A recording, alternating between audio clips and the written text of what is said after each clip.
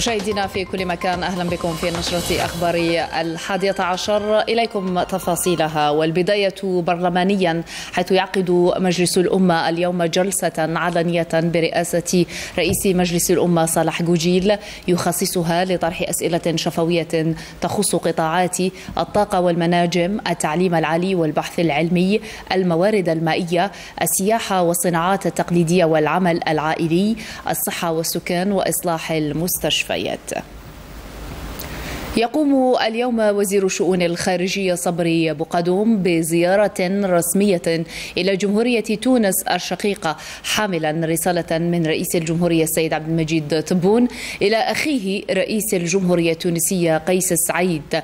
هذا وسيعقد أو سيعقد بقدوم مباحثات مع نظيره التونسي عثمان الجرندي يتم خلالها استعراض العلاقات الأخوية والمتميزة بين البلدين الشقيقين فضلا عن التشاور والتنسيق حول أهم القضايا الإقليمية والدولية. يشرع اليوم وزير الداخلية والجماعات المحلية والتهيئة العمرانية كمال بالجود في زيارة رسمية إلى موريتانيا. تندرج الزيارة في إطار الديناميكية الديناميكية التي تطبع العلاقات بين البلدين والقائمة على حسن الجوار والتعاون والتنسيق الدائم. كما سيتحدث الطرفان حول تعزيز التبادل في المجالات ذات الصلة بوزارتي داخلية البلدين بالإضافة إلى بحث سبل مواصلة التعاون في مجال تنمية المناطق الحدودية وتأمينها. أعلنت اللجنة الوزارية للفتوى التابعة لوزارة الشؤون الدينية والأوقاف أمس في بيان لها عن فتح المساجد المعنية بصلاة الجمعة والصلوات الخمس لأداء صلاة التراويح خلال شهر رمضان الفضيل على ألا يتجاوز وقتها ثلاثون دقيقة.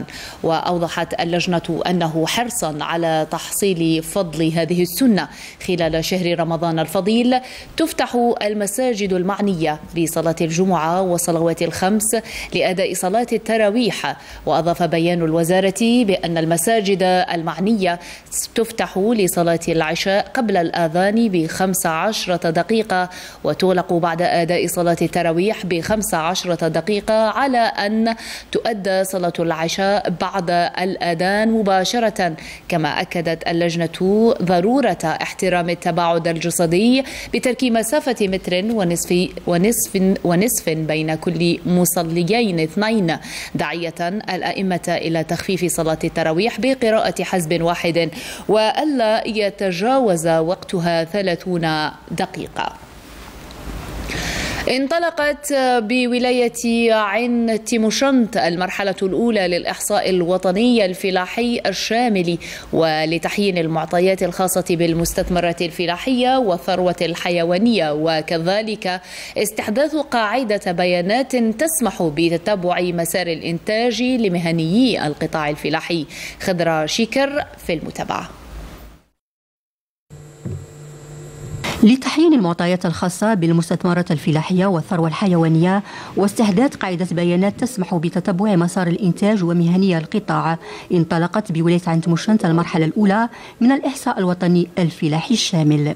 اليوم أطلقناها على مستوى عين تيموشنت آه، غضون الأسبوع القادم هناك خمس ولايات أخرى وبالتوازي راح آه، أثناء يعني العملية راح نعمم العملية على مستوى آه، كل ولايات الوطن.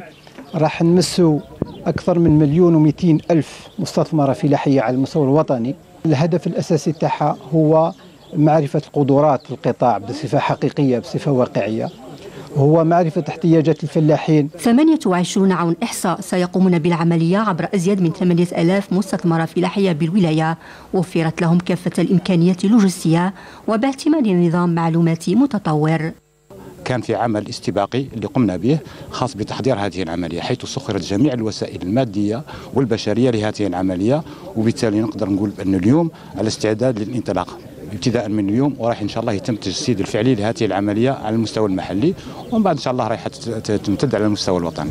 ما يميز هذه العملية هو استعمال الوسائل الحديثة آه، لوحات الالكترونيه لتساعد في آه، إعطاء معلومة دقيقة آه، سريعة وفيها أيضا تحديد الموقع الجغرافي.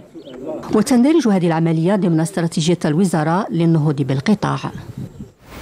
إلى ولاية ميلا حيث تتوقع المصالح الفلاحية إنتاجا وفيرا في مادة الثوم هذا الموسم قد يصل إلى أكثر من مليون ومائة ألف قنطار حيث استقطبت هذه الشعبة في السنوات الأخيرة العديد من الفلاحين. الشباب تقول فتحة بعرب. تحقق ولاية ميلا إنتاجا وفيرا في شعبة الثوم حيث يتوقع إنتاج مليون ومائة ألف قنطار في هذا الموسم الفلاحي مع توسيع المساحات المزروعة إلى 1580 هكتار. راكم في هذه القطعة فيها 12 هكتار تنتج حوالي 12 هكتار القطار ينحي لنا 250 قنطار في القطار وفيها ست مناصب شغل. دائمين و20 موسميين. هذا ثوم أحمر من النوع من ذو النوعية الجيدة. رانا نبيعوا ل 48 ولاية. 48 ولاية تاع الجزائر كامل. راهي تاكل من الثوم هذا تاع ولاية ميلا وحابين نطوروا في الشعبة تاعنا هذه. ورانا بربي إن شاء الله نكفيو نكفيو نكفيو الجزائر كاملة من هذا الماده هذه تاع الثوم. والاستيراد راهو ثلاث سنين ما زدناش استوردنا على مدة حنا معاه في البحير في الثوم التنحيه نقولوا في التنقية في الزريعة ثاني نزرعوا حنا. زرع نزرعوا تنقيو حتى التنحيه واقع النشاط وعوائق التسويق. المصالح الفلاحية تكثف مجهوداتها مع الفلاحين لتنظيم هذه الشعبة. الهدف تاعنا اولا هو اولا تنظيم تنظيم الفلاحين آه، اللي راهم يمارسوا هذه المهنة خاصة فيما يتعلق بإنشاء تعاونية فلاحية للشعبه اللي راح تسمح وتطمن الفلاح على المنتوج نتاعو هي راح تكفل بجمع المنتوج. آه، توسيع آه، الطاقة الاستيعابية من غرف التبريد خاصة هذا هو الشيء اللي يطلبوه هنا في الولاية اللي يطلبوه المهنيين في الفلاحة.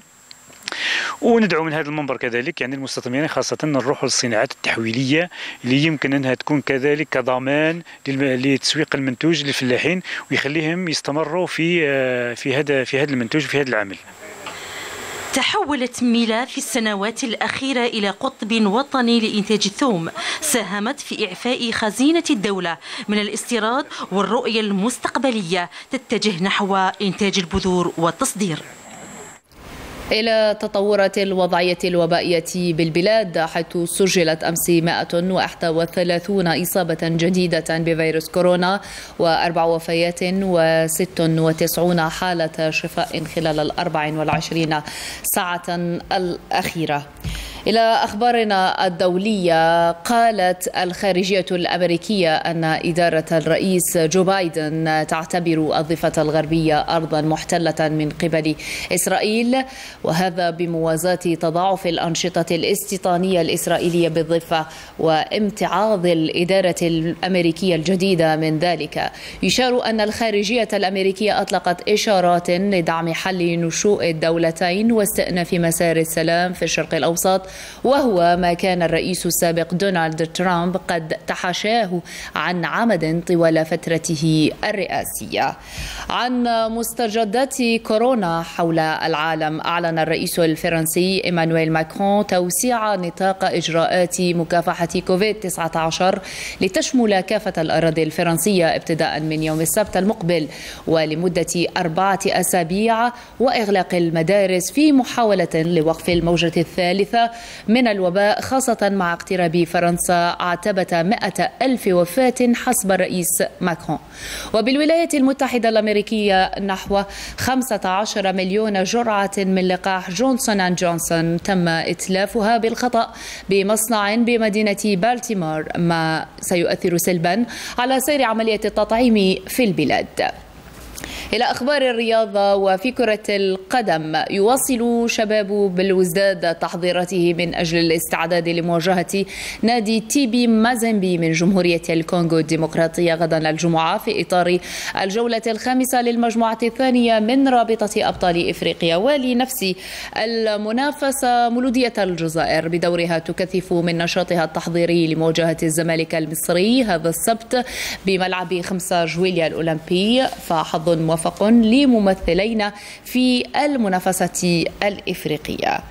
نختم بعالم الطبيعة والسياحة. استطاعت مجموعات من الحيتان الرمادية أن تنقذ أو تنقذ قطاع السياحة شمالي المكسيك وهذا بعد انخفاض محسوس لانتشار وباء كورونا وتوافد المسافرين بكثرة إلى سواحل المنطقة عبر قوارب. وهذا للاستمتاع بمشاهدة إبحار هذه الحيوانات الرائعة ومداعبتها.